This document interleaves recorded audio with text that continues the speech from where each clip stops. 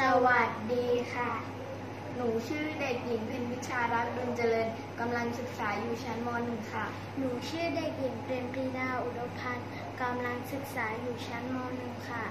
พวกหนูมาจากโรงเรียนห้วยนนักวิทยาตำบลพบพระอำเภอพบพระจังหวัดตาก หนูและเพื่อนๆเป็นนักเรียนที่ชื่นชอบในภูมิปัญญาท้องถิ่น โดยเฉพาะการทอผ้า โดยมีความใฝ่ฝันว่าอยากทำผ้าทอให้เป็นสินค้าที่มีคนมาชื่นชอบ สร้างรายได้ให้กับครอบครัว ผ้าทอที่ออกมานั้นต้องมีความหลากหลาย สวยงาม คงทนและเป็นมิตรต่อสิ่งแวดล้อม สมัยเรียนอยู่ชั้นป .3 นั้น หนูจะชอบสังเกตการทอผ้าของแม่ จนทำให้หนูอยากทำเป็นบ้าง และให้แม่คอยสอนวันละ 1-2 ชั่วโมง เริ่มตั้งแต่การปั่นได้ การขึ้นได้ จนถึงการทอผ้าฝึกแบบนี้ทุกวันจนทำให้หนูทอผ้าเป็น แต่ปัญหาที่เจอคือการทอผ้าค่อนข้างใช้เวลา รูปแบบสินค้ายังคงเดิมไม่หลากหลาย และไม่ค่อยออกสู่สาธารณชนมากนัก ทำให้นานๆทีจะขายผ้าได้โดยได้กำไรที่ 50 บาทต่อชิ้น มีอยู่วันหนึ่งคุณครูได้ออกเยี่ยมบ้านได้สำรวจว่ายังมีบ้านหลังไหนบ้าง ที่เด็กๆยังทอผ้าเป็น เพราะพี่ๆที่เพราะพี่ๆที่เพราะพี่ๆที่ทอผ้าเป็นส่วนใหญ่จะไปทำงานในเมือง และไม่มีเวลามาทอจนกระทั่งหยุดไป มีอยู่วันหนึ่ง คุณครูได้ทำการเยี่ยมบ้านและพบว่านักเรียนทอผ้า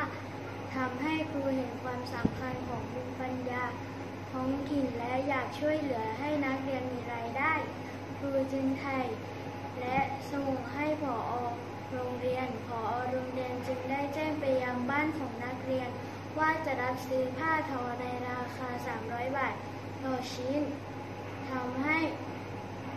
พวกหนูได้กำไร 150 บาทต่อชิ้นทำให้พวกหนูดีใจมากที่สามารถสร้างรายได้ให้กับครอบครัว ทางโรงเรียนได้นำผ้าทอไปแปรเปลี่ยนเป็นสินค้าที่หลากหลาย เช่น กระเป๋า หมอน และอื่นๆที่สวยงาม คงทน เป็นมิตรกับสิ่งแวดล้อม และทางโรงเรียน ได้มีการนำสินค้ามาไลฟ์สดในเฟซบุ๊กผลปรากฏว่าทำให้มีคนสนใจสินค้ามากมาย และได้รับการตอบกลับที่ดีทำให้สินค้า จากผ้าทอ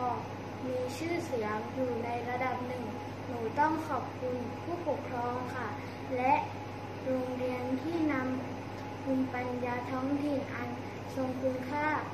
ทำก่อให้เกิดสินค้าที่มีชื่อเสียง และทำให้ครอบครัวมีรายได้ ขอบคุณค่ะ